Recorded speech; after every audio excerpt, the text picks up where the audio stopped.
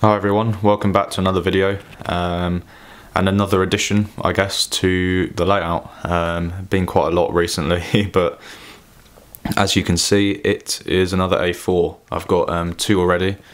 I've got the Golden Eagle which is sitting over there at the moment and I've got the Silver Link um, which I, I'm pretty certain I've showed on the, the channel before but um, yeah this is another one. It's in a different livery I haven't got this livery at the moment. Um, trying to work out which which liveries I haven't. I haven't got one in black, but that might be changing at some point.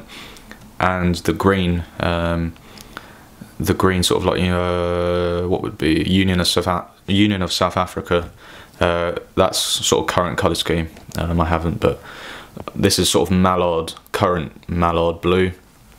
We've got the BR blue over there, which the Sir Nigel Gresley at the moment uh, the real engine is obviously in, um, and then I've got the white uh, with the silver link. So, so yeah, this is um, not a new engine. Came out in 2008 to well, let me just show you the box. Actually, that'd be easier. Um, to celebrate 70 years of Hornby. Um, so it was a special limited edition, and came in this rather fancy sort of looking um, box, which I guess is made to commemorate Hornby Dublo. So you can see down there, 2008 was when it came out. So it's by no means a new engine, but the condition that I got it in is pretty much near near perfect. Um, it is, I guess, a bit of history. And Sir Nigel Gresley obviously designed Flying Scotsman and the A4s, such as the Mallard, which broke the speed record. This current configuration is identical to how the Mallard is at the moment and I believe when it what it was like when it broke the speed record. So this colour scheme with number on the front the LNER number obviously um, LNER on the tender this sort of blue um, I'm not entirely sure if there's a special name for this blue. Um, obviously the British Rail blue is a bit darker over there oh maybe it's garter blue. I think it's garter blue actually. Something like that. Um, we've got the red wheels which I don't know how well you can sort of see but those are red. A bit darker than that sort of swoosh sort of there. Um, and then we've got the cowling sort of covering uh, covers over the wheels. Um, if you see the sil the uh, what's it golden eagle sorry? That covering isn't there. So this sort of that line there is the line of the bodywork and it doesn't come down below but this one sort of does just to make it I guess a bit more streamlined. But for whatever reason British Rail decided to get rid of that when they put them into BR although I have actually seen images of the real Sir Nigel Gresley in this livery but without those casings so so yeah I'm not entirely sure the reason um, behind all the switching but yeah this is not the Mallard. It's not 4468 it's 4498 so it's Sir Nigel Gresley named after the designer himself. And yeah it's there's probably going to be thousands of sort of reviews on the internet about A4s um, but this one is I guess just a little bit special because it's Sir Nigel Gresley. Um, and it's that special sort of um, it's got the special box as well. So I, will take you through a little bit of a, a tour of the engine. Um, we got lots of um, detailing down on the front here. We've got um, the the little slat things there to put um, lamps and discs for the route um, designations on. Got the the chimney there with um, the whistle on the front.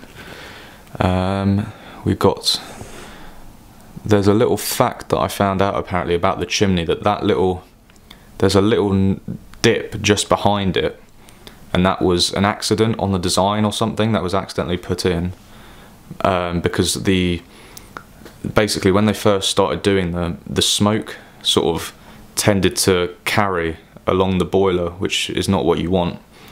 And there was a little dip that they accidentally put in the design afterwards when they were trying to sort it out and then that actually made the smoke sort of I guess get shot up and I guess solve the issue um, not entirely sure I can't remember where I heard that maybe that was at the railway, railway museum or something like that but um, I'm pretty certain it was for this engine that that was the case.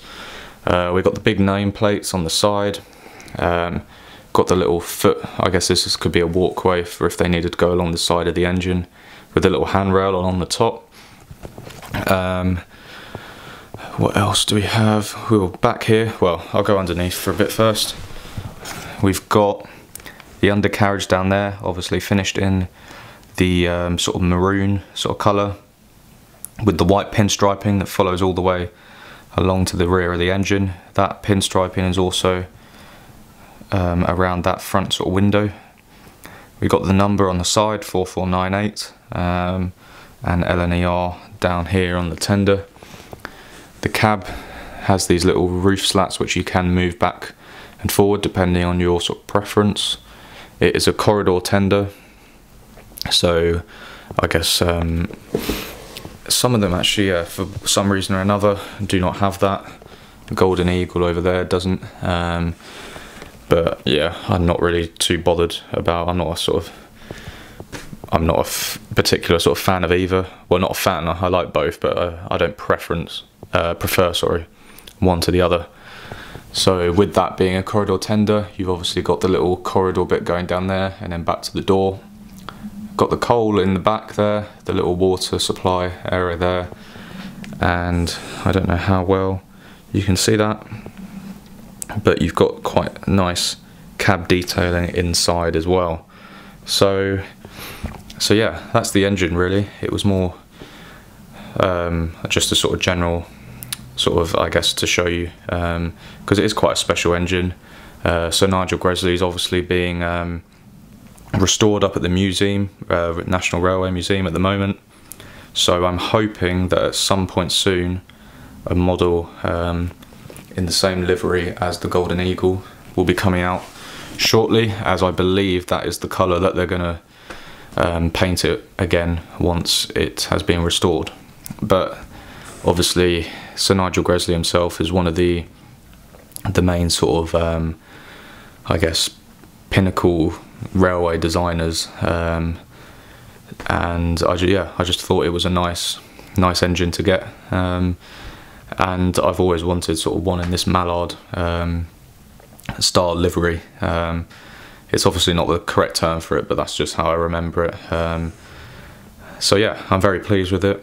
It is DCC fitted as I've got it, um, so I'll have to switch over the systems at the moment, and yeah, then show you some of it running. But but yeah, hope you like what you see. Um, probably, or almost definitely not going to be the last A4 that I'll get, but it's definitely a nice um, addition to the collection. So yeah, hope you enjoyed the next sort of upcoming little running session, and I'll see you in my next video. Cheers.